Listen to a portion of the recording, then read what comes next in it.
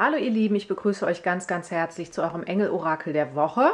Ja, es erscheint ein klein bisschen früher, diesmal schon am Freitag für die kommende Woche ab Montag. Äh, das hat den Grund, ich bin am Wochenende ab heute Abend eigentlich unterwegs und äh, auch bei, auf Besuch bei Freunden und insofern da äh, habe ich mir gedacht, veröffentliche es etwas früher, dann habt ihr das schon, äh, weil ich nicht genau weiß, äh, ob ich da auch den Kopf für habe am Wochenende es irgendwie zu veröffentlichen und so. Also ihr könnt ja schauen, wann ihr es mögt. Ja, und wir haben hier den Blick in die kommende Woche, wie gesagt. Ähm, wir schauen mal, womit die Engel um die Ecke kommen, um es mal so zu sagen. Äh, und äh, was man schon erkennen kann aus dem Orakel, und bei Facebook habe ich es schon angedeutet, ist, dass jetzt tatsächlich es sich so anfühlt, und das Gefühl habe ich seit gestern Abend, heute früh, äh, als wenn so ein Knoten geplatzt ist. Ja, so, so ein ich nennt man das einen gordischen Knoten, einen, den man nicht entwirrt kriegt, den man nicht öffnen kann, der tricky ist, der langwierig ist, langlebig ist, sehr fest verklettet ist. Ihr kennt diese Knoten, die man festgezogen hat, ganz, ganz fest, die so richtig eng verklettet sind. Und so ein Knoten löst sich jetzt, öffnet sich jetzt, äh, kommt ins Gehen oder ist komplett gelöst, auch beim einen oder anderen schon. Also ich will das nicht ausschließen, dass das schon wirklich der Knoten geplatzt, gelöst ist. Ähm, und die Dinge gehen jetzt vorwärts. Ja, also es geht jetzt wirklich zieht an, Mars zieht an. Wir haben seit dem äh, Montag, 19. 20. in der Nacht, ist Mars direkt gegangen. Also wir spüren jetzt, er muss dann langsam Fahrt aufnehmen, aber wir spüren dann, dass äh, jetzt die Dinge wirklich in Bewegung kommen. Ja, und wir fangen mit der ersten Karte an. Ähm, und die erste Karte sagt, lass deine Vergangenheit los. Äh, lass deine Vergangenheit, die du mit dir herumträgst, äh, nee, die Last deiner Vergangenheit, die du mit dir herumträgst, hat dich müde gemacht, liebes Wesen. Der Moment ist gekommen, diese Last abzulegen. Behalte nur die guten Lektionen und die Liebe und lass alles andere hinter dir. Du willst es nicht, du brauchst es nicht und jetzt ist es von dir genommen. Also es geht darum, ähm, man könnte jetzt, äh, äh wenn man da vers versucht ist, das schnell drüber zu gehen, sagen, ja, lass deine Vergangenheit los, kennen wir schon, haben wir schon hundertmal gehabt. Man muss aber ein bisschen aufpassen, äh, das schnell abzutun, zu sagen, das ist ja das alte Lied.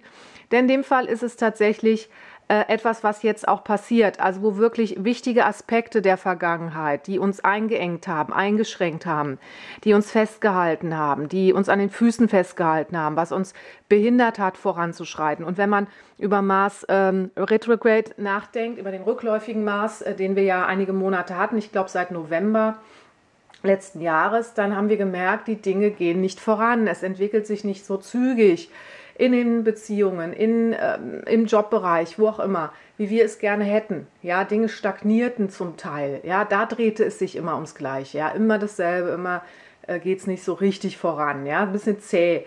Und jetzt platzen die Knoten, jetzt merken wir, okay, wir können jetzt die Vergangenheit über Bord lassen und wirklich äh, anfangen, die alte Zeit hinter uns zu lassen. Es sind jetzt in der Zeit des ähm, Kardinalen Kreuzes, äh, was ja mit seiner Wirkung aus meiner Sicht, von meinem Gefühl im Februar schon begonnen hat, natürlich stärker im März noch aufgedreht hat, ähm, sind einfach ähm, ja, Dinge in den Blickwinkel gekommen. Äh, viele Menschen haben gemerkt, was müssen sie in ihrem Leben verändern, damit äh, sie in, ins Glück kommen, in ihre Lebensfreude kommen und, und in ihre ja, auch Lebensaufgabe natürlich kommen, alles, was damit zu tun hat.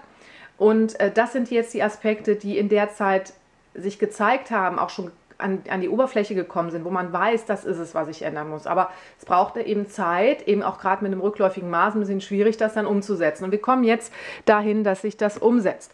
Und das betrifft interessanterweise hier besonders stark den Bereich der Familie, also des häuslichen Lebens.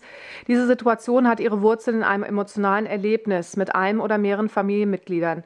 Und wir können dir helfen, die Ursachen zu verstehen und zu heilen.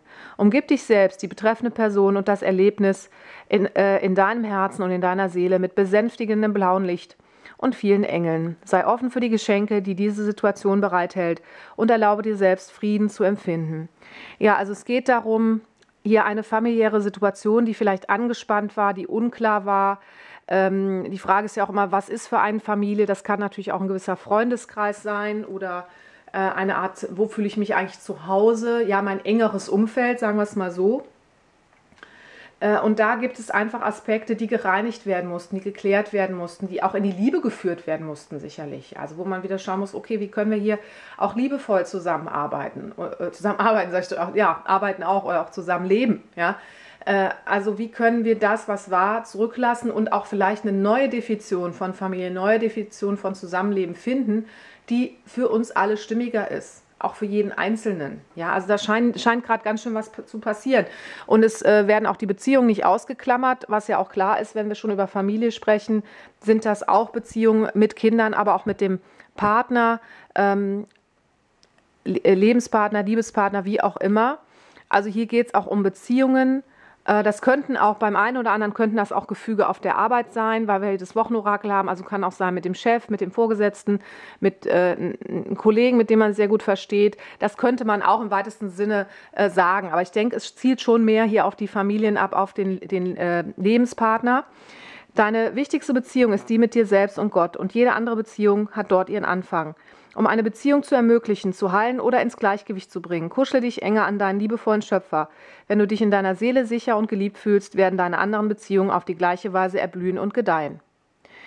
Ja, also hier geht es jetzt wirklich darum, das Vergangene loszulassen. Wirklich, ähm, ja, alles, was damit zusammenhängt. Und für den einen oder anderen mag das bedeuten, dass die Beziehung dann auch nicht mehr tragbar ist oder einfach auch der, ja, das kann auch ein karmischer Klebstoff sein, der dann nicht mehr wirksam ist. Äh, das kann zu Lösungen führen, zu Trennungen. Und wir hatten das ja sehr, sehr stark. Und wer da bei Facebook bei mir und zu reingeguckt hat, wird, ähm, jetzt muss ich überlegen, wann das war, irgendwann Februar, März, äh, was finden zum Kardinalen Kreuz. Äh, eine weitere Ausführung auch zu Zwillingsflammen, ein Text, der da übersetzt drin steht, ähm, wo es ganz klar darum geht, zu sagen, innerhalb dieses Kardinalen Kreuzes fallen viele Entscheidungen für Trennung, für Scheidungen, für Familien, ja, Auflösung kann man nicht sagen, aber für andere Familienkonzepte, so möchte ich es mal nennen, weil ich will es positiv sehen. Äh, äh, da gehört viel Schmerz dazu, aber auch viel Loslassen, aber auch viel Neudefinition. Wie kann das jetzt laufen? Wie kann das funktionieren? Das ist ein kollektiver Prozess. Das sind keine Einzelfälle, wo das jetzt mal eben so passiert. Ich habe dann mal geschaut, was sind die einzelnen Karten zu diesen Wochenkarten quasi und zur Karte Lass deine Vergangenheit los. Ja, hier geht es um den Seelenplan. Äh, das ist vorgesehen im Seelenplan, dass wir an den Punkt kommen, wo wir klare Entscheidungen treffen müssen, wo wir, um vorwärts zu gehen, um in unserem Herzen zu sein, um äh, in unserer Selbstliebe zu sein, Entscheidungen vielleicht treffen müssen, die uns nicht leicht fallen, ähm, die ähm, aber uns erleichtern können. Also da steckt immer auch die Chance, eben auf eine sehr lichte äh, Welt, äh, auf ein sehr lichtes Erleben hin. Also es ist auch eine Befreiung. Ja, also es ist jetzt nicht als Bürde nur zu sehen. Das kommt darauf an, wo die Person steckt. Ja, ob sie noch damit kämpft, es zu tun oder ob sie schon durch ist. Ja, und mein Gefühl ist, äh, dass, dass so ein Knoten jetzt über Nacht geplatzt ist, so ein erster. Da mögen noch ein paar sein, aber der, der wichtigste, der, der größte Knoten ist, ist jetzt irgendwie geplatzt. Und das, was jetzt passiert, ist auch geführt. Das ist interessant, ja, hier gerade mit der Familie. In, äh, da mögen vielleicht Gespräche stattfinden. Da können Streitigkeiten sein, das hoffe ich nicht. Da können aber auch Pläne sein. Wie wollen wir das neu gestalten? Wie wollen wir das angehen? Ja, äh, äh, ja, und das wird geführt. Also die Engel und die, auch die Einhörner sind bei euch, um wirklich für Harmonie zu sorgen, für Verständnis auf allen Seiten ja, für jede individuelle Wahrnehmung auch Verständnis zu haben und nicht das Gefühl zu haben, was ich hier tue, ist nicht gut oder ist nicht richtig oder ich werde nicht geliebt oder wie auch immer, sondern wir werden alle geführt gemäß unseres Seelenplans und auch in Familien sind ja Seelengefährten, die da zusammentreffen, die haben ja den bestimmte Seelenverträge miteinander und die kommen jetzt, werden jetzt aktiviert. Da werden wir hingeführt, jetzt diese äh, äh, auszuführen hier mit der himmlischen Führung in dem Fall. Und beim Thema Beziehung kamen zwei Karten äh, hier geht es in der Tat um Freiheit, um Befreiung. Äh, ja, wirklich zu schauen, also Ketten oder Bänder, die, äh, die uns eher eingeengt haben als befreit haben, jetzt loszulassen, nach vorne zu gehen, hier ins Licht zu gehen, aus einer Zeit, die schwer war, die zäh war, die nicht zuträglich war, ins Glück zu gehen. Und schaut euch an, wie schön gelb und strahlend und sonnig diese Karte ist und ganz viele Elefanten sind da.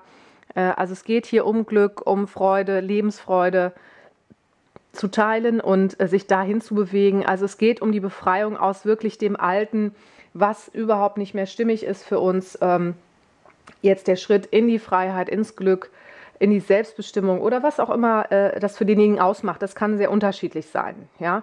Ähm, aber das scheint hier irgendwie nötig zu sein. Also vielleicht eine Woche, die ein bisschen tough ist, ähm, wie gesagt, mein Gefühl ist, da sind schon Knoten geplatzt. Das wird jetzt leichter, auch wenn da noch, noch einiges kommt, vielleicht in der kommenden Woche.